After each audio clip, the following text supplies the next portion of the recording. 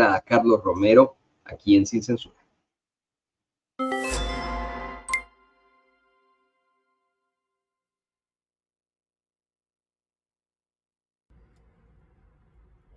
Hola Toñito, ¿cómo están? Buenos días a todo, todo el mundo en Sin Censura. Un saludo a todos, a Vicente Serrano. Este, mi nombre es José Carlos Romero. Eh, quisiera hacer un comentario acerca de lo se está viendo, acerca del plan C. Este, y lo que dijo ese señor Rafael Ernesto Camacho, con mucho respeto, ¿verdad? Este, él habla de los impresentables de Hidalgo. En todos lados hay impresentables. Este, y quisiera hacer el comentario acerca del plan C. ¿Cuál es la idea? Este, sí, hay, sí hay muchos impresentables porque hace falta, hay, hay líderes en todo México, pero que no se quieren meter en política. Entonces hay gente que ya está metida en política y, este, y esos son los que se presentan y bueno, pues como dijo el señor presidente, se tiene que trabajar con lo que hay, no con lo que se quisiera. Entonces, se está trabajando con eso. Eh, decir que, no va a funcionar o que van a eh, poner personas que, que este, para que sigan haciendo cosas indebidas, pues no es tan cierto, no es tan cierto, porque al, al lograr el plan C, todo, se va, todo va a cambiar en México, todo todo, porque entonces sí, las leyes se van a respetar este, y todos van a tener que entrar al aro. Pero sí, lo que sí hace falta es más difusión acerca de... Yo sé que Mario Delgado tiene ya una idea de cómo llegar a ese plan C, ya hicieron la estrategia, este, nada más que nosotros los de a pie nos falta un poco de información acerca de, o sea, yo si voy a votar yo estoy, yo estoy en Tamaulipas, bueno, yo estoy en Estados Unidos, pero voy a votar aquí por, este, yo, yo soy tamaulipeco, entonces, este, que, ¿cómo, ¿cómo va a ser? O sea, para, para llegar, para lograr ese plan C, ¿verdad? Este, que no, yo, no vaya yo a meter las cuatro patas ah, pensando en que tengo que votar de una forma y era de otra, ¿no? Entonces, sí, tener claro eso, este, ya se acercan los tiempos y decirle a este señor eh, Rafael que realmente no hay otro medio eh, que, nos dé más, eh, que nos dé la oportunidad de hacer esto, de, de, decir nuestra opinión, ¿sí? Y la decimos así, tal cual, así como lo ha hecho él, por eso se llama sin censura, me dijo sí Este, pues, este, entonces, la cuestión es esa, ¿no? más información, este, ojalá y se logre, ojalá y lo logremos entre todos y, este y que se quede tranquilo el señor Rafael. las cosas van a ir caminando, así caminan en un país, es, lento, pero, pero si nosotros empujamos, va a caminar. Otra cosa, Toñito, quería, esto ya dicen que todo debe ser a tiempo, pero bueno, eh, felicitarte por tu logro de ser ciudadano.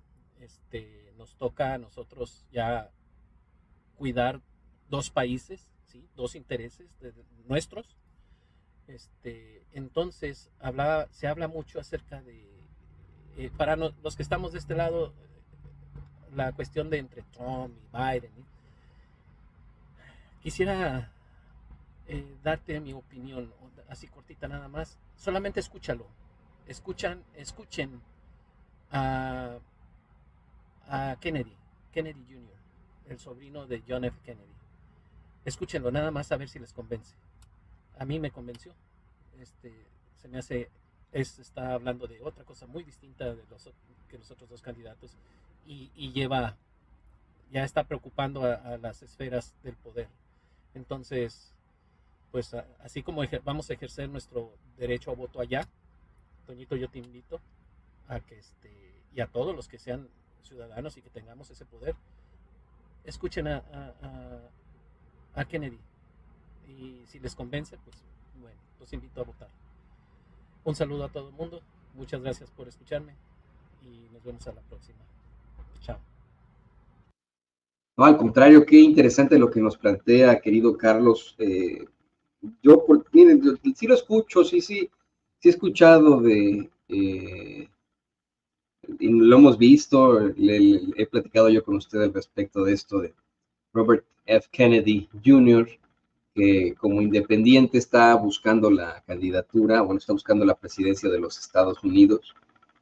Y a mí me gustaría decirle a usted, no, la verdad es que es otra opción y, qué bueno, y vamos a buscar intentarle eh, eh, tener de alguna otra forma algo distinto que no sea ni el Partido Demócrata ni el Republicano, ese Partido Republicano con todo lo que conlleva y con la cantidad de votos que tiene. Ayer me atacaron los bots de Trump hasta por debajo de la lengua porque les dije pues, los corregí por ahí, ¿no? En, Twitter, ahora te lo voy a enseñar el tweet, pero eh, eh, la verdad y lo problemático de todo esto es que este país tiene efectivamente un sistema bipartidista de republicanos y demócratas. Además de eso, eh, es un país que tiene una, un eh, sistema electoral muy complejo de colegios electorales que no permiten que la gente decida. Es decir, pongámosle que de pronto eh, el señor Robert F. Kennedy consigue hacerse de muchos votos, convencer a mucha gente. No va a importar que gane las elecciones por votos, va a necesitar los delegados suficientes en cada colegio electoral para poder eh, convertirse en presidente de los Estados Unidos. Ese es el problema, es el problema. Por supuesto que me gustaría decir como Carlos hoy, ¿no? Pues escuchemos las propuestas de Robert Kennedy y a lo mejor él queda, ¿no? Que es uno de los herederos de, ya sabe usted, eh, bueno, pues esta familia Kennedy. Eh, pero insisto, ese es el problema, que se ha hecho este sistema así, bipartidista y eh, basado en los colegios electorales. ¿Cuál es la solución? Bueno, pues que participemos. Como pueblo, insisto, ¿no? Eh, tenemos nosotros el sartén por el mango. No hay gobierno, no hay ejército, no hay partido político, no hay grupo criminal, güey, no hay grupo policial, no hay millonario o millonaria multimillonario que se puede enfrentar a 30 millones, 60 millones, 100 millones de personas. Y si nosotros, como mexicanos, que somos la mayoría de los inmigrantes aquí en los Estados Unidos, que tenemos la posibilidad de hacernos ciudadanos, eh, nosotros comenzamos a participar, a involucrarnos, a involucrar a nuestros hijos.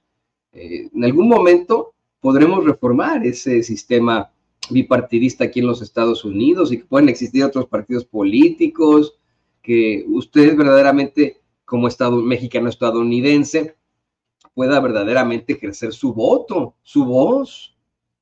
Sí se puede. sé que suena a frase hecha, pero sí se puede. Mientras tanto, bueno, pues nos tenemos que conformar entre la misma de siempre, ¿no? Entre la popó y la caca, así dicen, ¿no? elecciones, pues, coger cualquiera, no, pues no sé, ¿no? Eh, no sé cualquiera de, los dos, no me convence ninguno, pero muy interesante lo que nos plantea Carlos.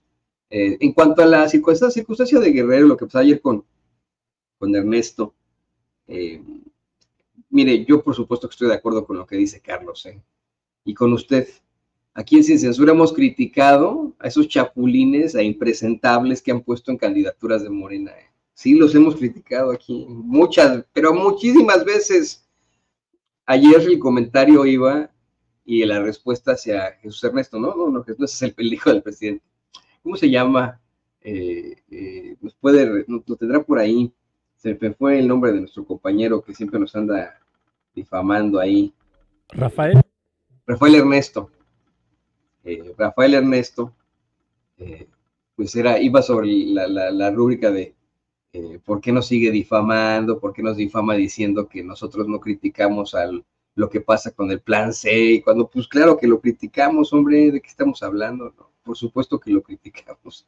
Pero, pero, lo, pero lo que plantea, por ejemplo, Carlos, de lo que ocurre ahí en el, en el, en, el Hidalgo de, también de Ernesto, pues es claro, ¿no? Hay mucho impresentable y se tendría que cuestionar este tipo de circunstancias.